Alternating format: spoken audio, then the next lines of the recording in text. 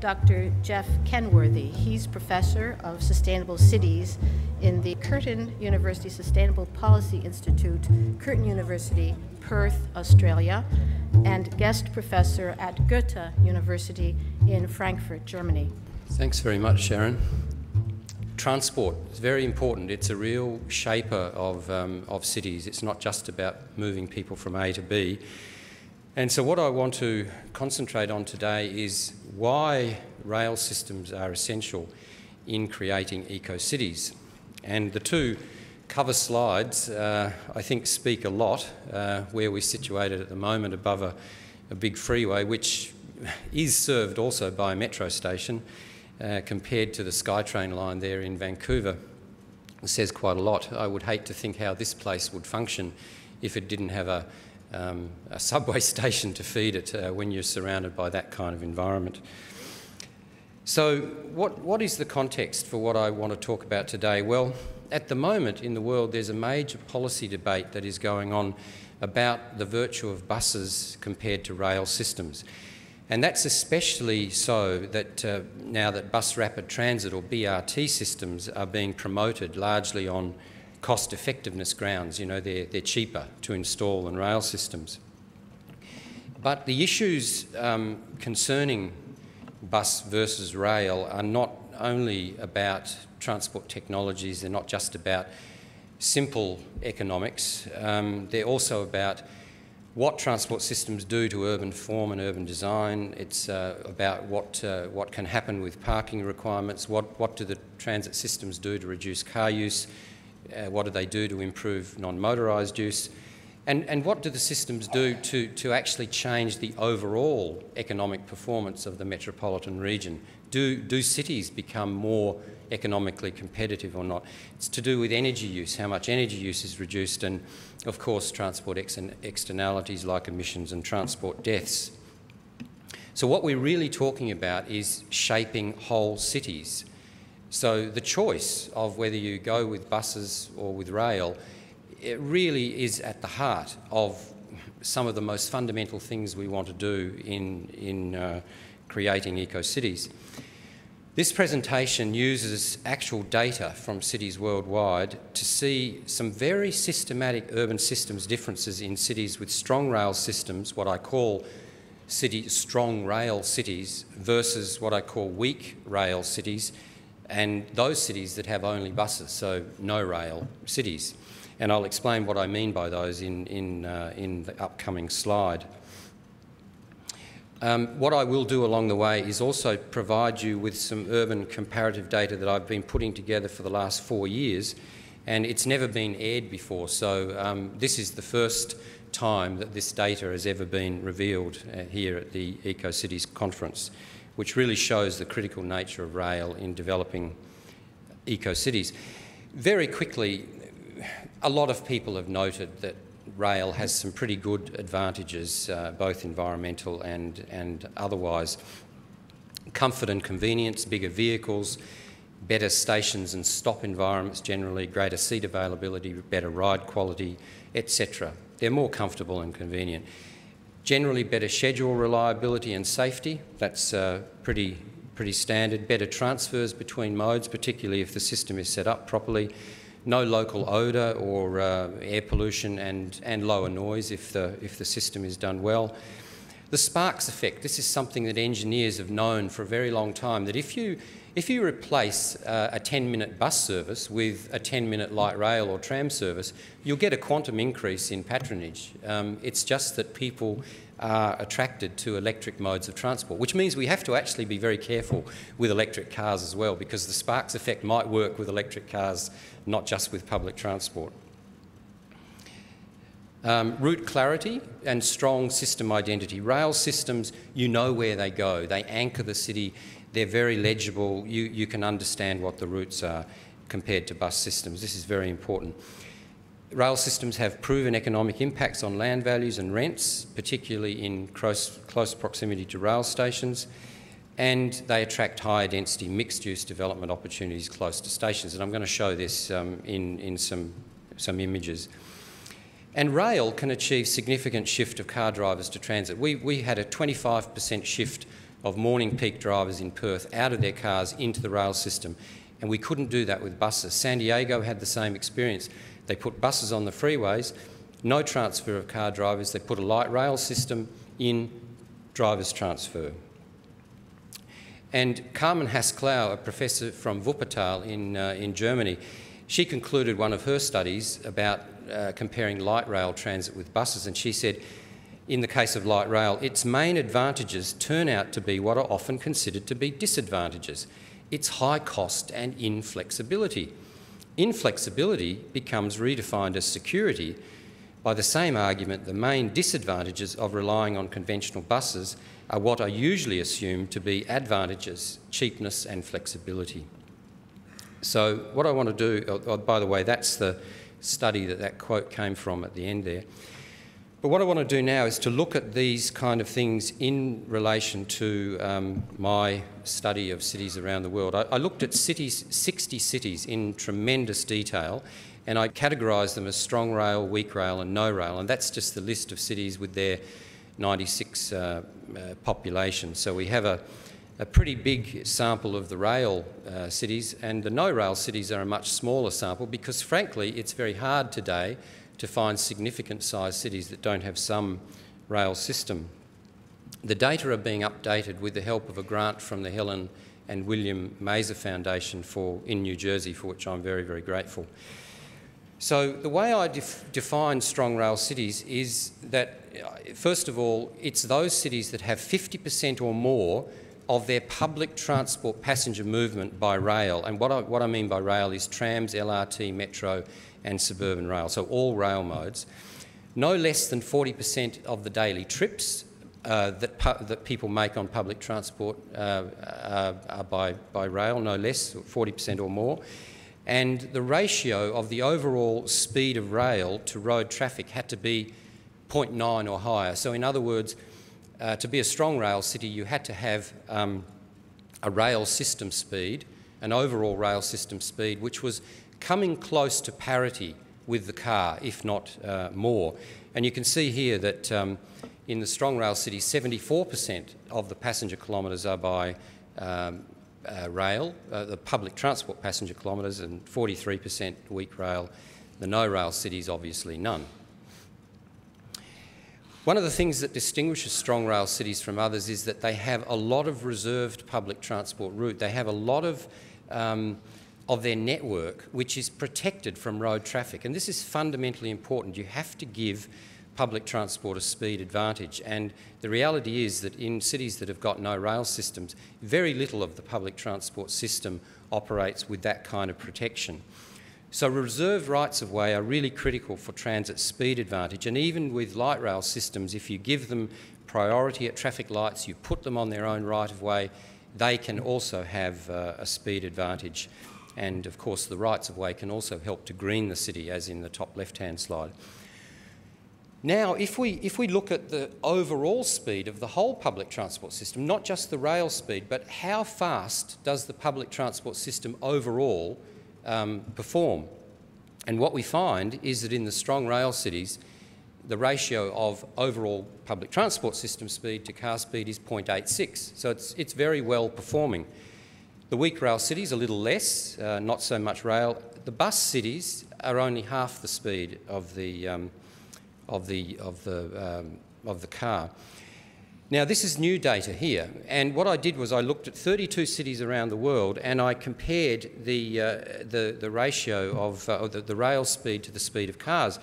And very interestingly, you have cities that, you know, like Hamburg and uh, Hong Kong and London, which are, you know, 1.4 to 1.6 times higher rail speed than they do um, average car speed.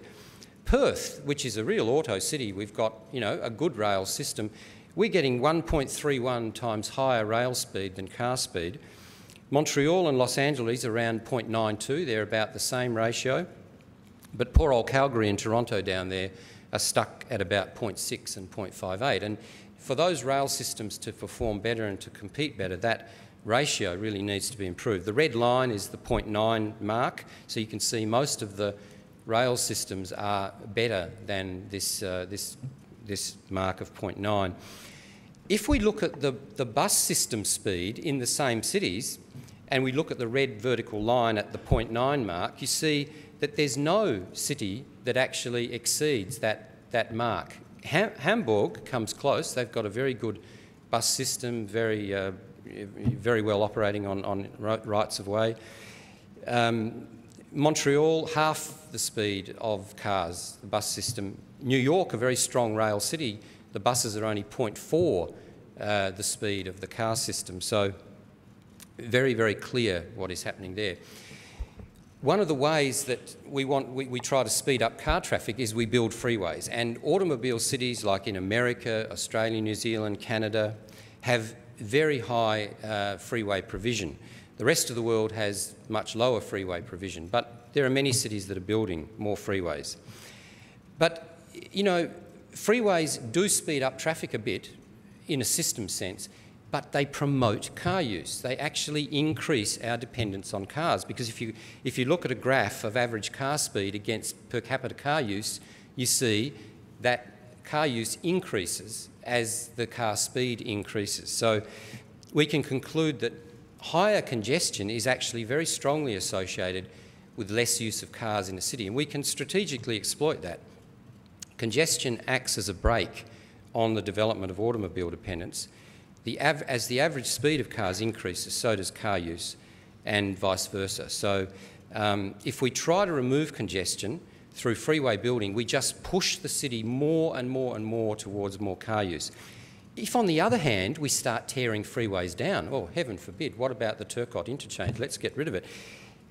Ch Cheonggyecheon, they got rid of six kilometres of freeway in Seoul, and the traffic speed improved. The car speed improved by getting rid of six kilometres of four-lane expressway because traffic behaves more like a gas than it does a liquid. It doesn't flood over everything if you remove road space. It actually starts to compress. And we need to actually start surgically removing freeways from the, from, from, from the tissue of our urban systems. What about urban form? Well, in the strong rail cities, they're very centred. 18% of the jobs in the central business district on average are in the centres of the cities compared to the no rail cities with about 10% of the jobs. But it's not just the CBD, but rail cities are also have what we call decentralised concentration. They develop significant centres outside of the central business district.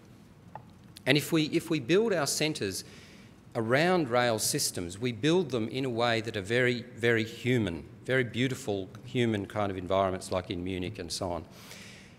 And we build big centres in the suburbs. We can build these, um, these sub-centres that, that really do work, both around light rail systems and around uh, uh, metro systems, like in Los Angeles, like in Sydney. But we actually have to build the systems. What about parking spaces per thousand central business district jobs? Obviously, the strong rail cities have less parking. They enable cities to create beautiful environments in their centres. The no-rail cities, lots and lots of parking, more than one parking space for every two jobs. Centres in the suburbs, car-based or and supplemented by bus, public transport, very, very often very ugly, whereas centres that are based around, in, in, this case, an, an U-Bahn system, uh, the, the, U, the U4 line in Munich, um, very beautiful, traffic-free, people-orientated green space. What about um, the level of service that is provided by public transport? Well, here in the, in the case of um, uh, the seat kilometres, the, uh, the annual seat kilometres per capita, you can see that the strong rail cities are way above the no rail cities in terms of the level of service that is actually provided.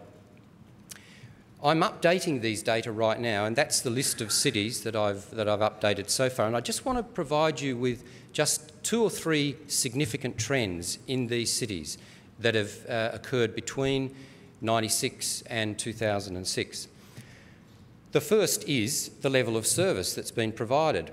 The top part, the top part of this graph is what's happened to the bus seat kilometres per capita, the bus service, the middle graph is what's happened to the level of rail service provided, and the bottom part of the graph is the overall system.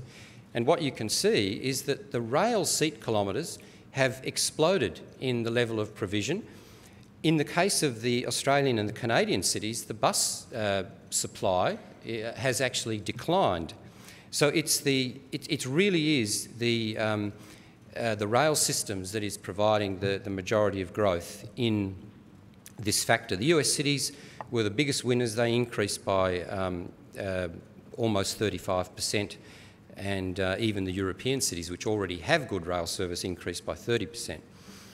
What about, um, what about the usage of public transport? Well, this is the number of trips that are made per capita per year. And look, the pattern is always the same. The same pattern occurs. The strong rail cities, very high use of public transport. Weak rail, a lot better, again, than the, the bus-only cities.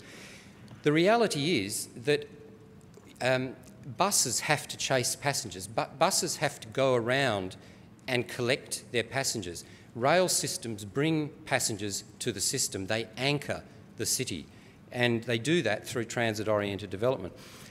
What's been happening in the trend in public transport usage? Well, have a look at this. Um, the bus uh, boardings per capita, the trips per year, have increased a little bit in the case of Singapore, Hong Kong. They've actually declined a little bit. But the rail boardings per capita have gone really strongly upwards 26% in Canadian cities, 24% in American cities.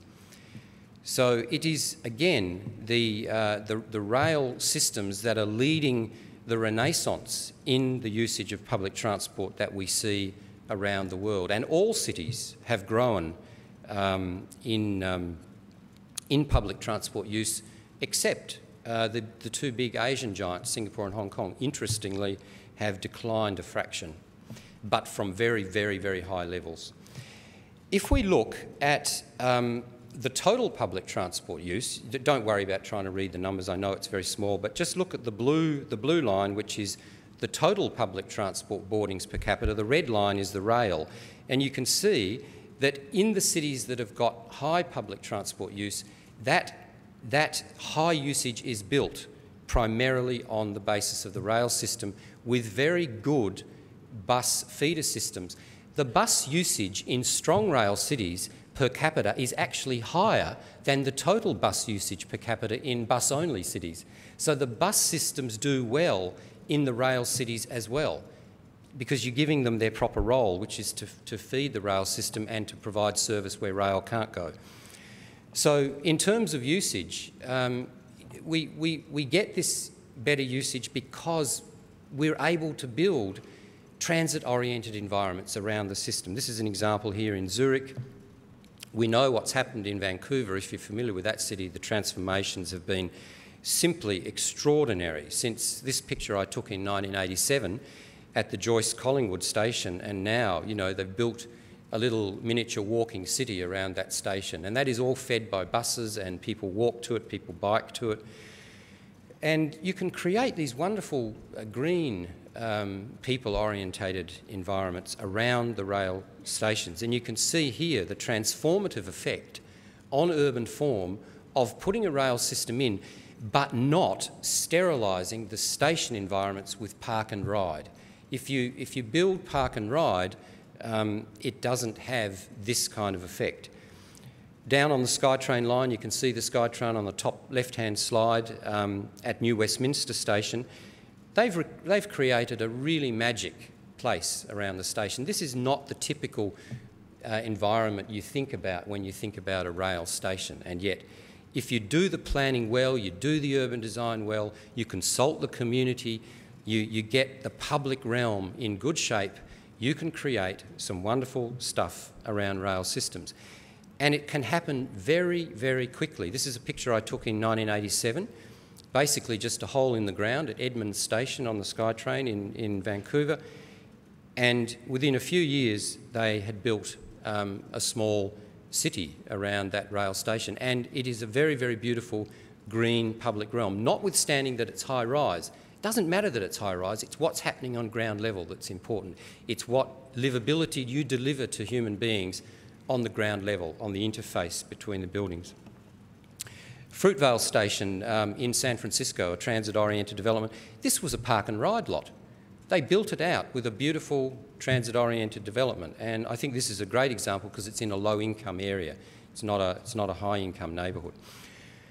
Maybe these pictures are a little bit biased, but you know, if you look at uh, you know, a bus interchange, say at West Edmonton Mall, um, you can see uh, the difference in the, the, quality of the public environment. And here's an example from Vancouver across the, um, the Fraser River in the suburbs showing a different approach where there's a lot of parking.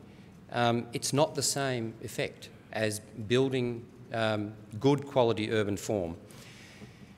Another piece of data is, well, how much of the overall motorised movement in the cities, cars plus public transport, how much of that is by the public transport system? Well, in the strong rail cities, we're getting an average of 22% of all motorised movement by rail. In the bus-only cities, 5%. There's no comparison. There's a four times difference here. And what we find in the cities is that, that those cities that have got um, the, the, the highest car use have also got, obviously, the lowest rail use. So, so you know, it the, the, the, the low car using cities are the cities that have got very strong um, rail systems. And again, I showed you the, the situation with the trips by public transport. This is how far people move on the public transport system. This is the passenger kilometres, and you can see again that it is the rail systems that are leading the charge in terms of how much um, public transport has increased in the 10 years from 95 to 2005. Um, buses have increased as well, but not to the same extent as, uh, as the rail systems. So um, Perth, we have, uh, in Perth, we've put in a, a very good um, rail system and um, it, the average speed of this new line is around uh, 80, 80 to 90 kilometres per hour actually and uh, the, the, the, rail usage in Perth has increased fivefold uh, since the early 1990s. Fantastic renaissance in, uh, in rail usage. And if we look at uh, the cities uh, in terms of speed, we can look at the ratio of overall rail speed to road traffic speed and the total per capita use of public transport, uh, of rail usage, I should say. You see three, three groups of cities. The top group of cities are cities that we can say have very high use of rail and they have a very competitive speed and they have an extensive rail system. Then you've got another group of cities in the middle which have moderate use of rail, but they suffer either from a lack of adequate speed competitiveness or system coverage. And then you've got a group of cities that have got relatively low uh, or poor rail use due to poor system coverage, though often with highly speed competitive systems, but there's just not enough of them. Or you have cities with poor rail use due to both poor system coverage and poor competitiveness and speed. In terms of how much movement of people rail contributes, it's actually quite extraordinary because we can see here that if we add up the rail and the car passenger kilometres and we take rail as a proportion of the total, we find that, you know, in Hong Kong, the rail system is actually moving 70% of all the daily movement in the city. And even in Singapore, 30%, Berlin, 20, um, uh, London, uh, Berlin 28%, London 26%, very high. But then there's another group of cities, 18 in fact, more than half, have less than 5% of the daily movement of people by rail. And it is these kind of cities that need this, this boost from, uh, from a better rail system. We see also that uh, in the strong rail cities, um, the proportion of trips by private transport, by car, is, is less than half, whereas in the bus-only cities, 84%. Non-motorised mode use, walking and cycling is better in the rail cities. 31% of daily trips by foot and bike, 11% in the bus-only cities. So if you're building a city around rail, you have the opportunity, if you get your urban design right, you get your planning right, you have the opportunity to create superior walking environments because rail is very, very space efficient. And this is what they've done in Portland here. They've, they've actually transformed their central area. They've done it with a light rail, they've done it with a streetcar system in the Pearl District. very confined areas of the city, but nonetheless, they are like ripples in a pond. They are really beginning to transform the city. And of course, in Europe, in Karlsruhe, in Geneva, again in Portland here, we see um, the effect of putting surface light rail systems. Um, what about energy use? We know that oil is peaking or has peaked. We know that oil is going to become a real problem, a geopolitical problem in terms of war. We know that it's going to become a problem of cost. And the rail cities have got much lower per capita uh, energy use in transport than uh, cities that try to do it all with buses. Transport externalities, um, emissions. This is the, uh, the, the, kilograms of nitrogen oxides and carbon monoxide, SO2, volatile hydrocarbons. Um, it's very clear the per capita emissions are much lower in cities that base their, their public transport system around rail. And um, the pattern again is, is very, very predictable. By the way, I have a paper, I have a full uh, refereed uh, academic journal article which has all this data and more, um, and it's all uh, statistically um, validated. The differences are statistically significant in each of those columns. It's all been done uh, with statistical rigour. Um, and transport deaths, you know, very, very important. How, how, many, um, how many people uh, are we losing um, a year in, in, in the transport system? And um, it's very clear that, that we, we lose people uh, in transport systems in proportion to our exposure to the automobile. So the high car using cities have high death rates. The low car using cities, particularly the ones based around urban rail, have very low transport death rates. Um, and I, I, would suggest also, looking at the bottom right-hand slide, that, um, that we, we can create a more civil-minded city, a better, a better city, a more uh, well-mannered city if we uh, can get ourselves out of cars.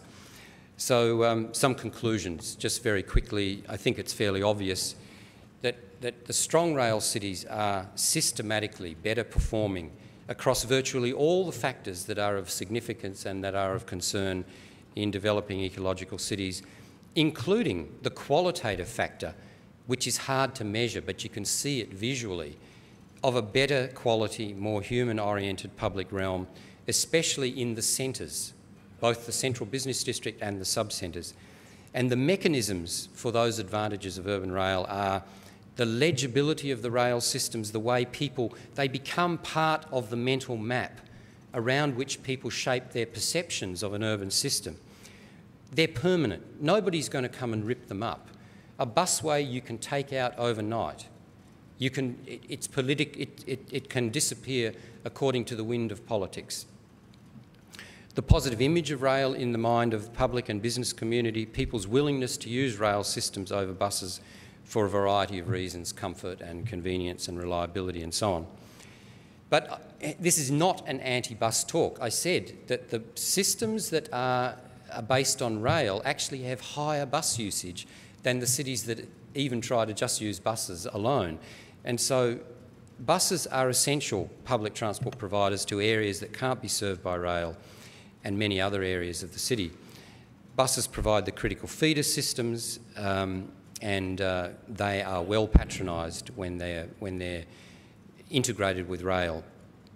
Rail and bus form an integrated multimodal transport system that provides competition with the car. It's not a competition between buses and rail, it's a competition between the car and public transport. And the way to win that war is to integrate your public transport system using all the modes that are necessary ferries, trams, light rail, commuter rail, whatever. Public transport should be seen as a multimodal system whose chief aim is to compete with and reduce dependence on the car, building a virtuous circle, not a cycle of decline, but a virtuous circle. And finally, there is a renaissance going on around the world, um, and the key to that is, I believe, urban rail systems. And we won't ever change any significant sized city into a more ecological model without high quality urban rail. And it's time to start transferring all those road funds that are being used to, to, to, to rebuild the Turcotte interchange into the public transport system. You've got $3 billion. Build, use it on public transport. Thanks very much.